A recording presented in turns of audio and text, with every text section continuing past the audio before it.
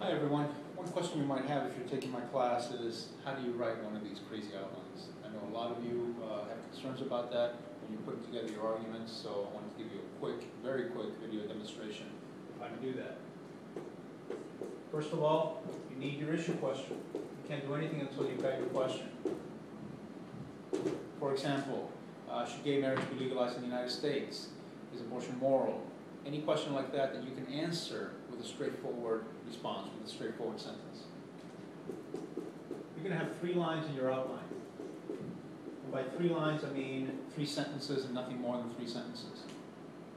The last sentence should actually be the one that you write first. Write that immediately after your issue question. Why?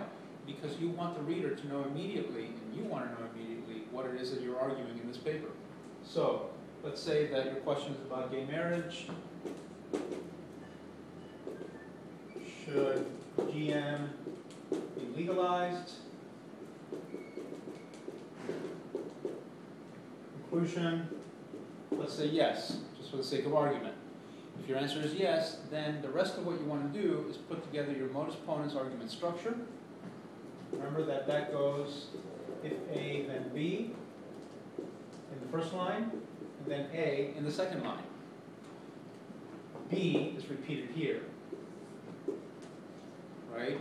So that's your modus ponens structure. You've got your issue question. Now you've got your response, your conclusion. Now you know already what B is because you've already written it. B is gay marriage should be legalized.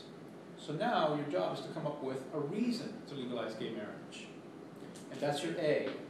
So A would be something like if everybody should have the right to be married according to their sexual preference, then gay marriage should be legalized. Or if any two people who are in love should be allowed to get married, then gay marriage should be legalized, etc., etc. You see the point, right? So, recap very quickly. Issue question. Conclusion first. If you write the conclusion first, you'll be better off, trust me. Then, premise one, line one, premise two, line two, and you're all done. Thank you very much.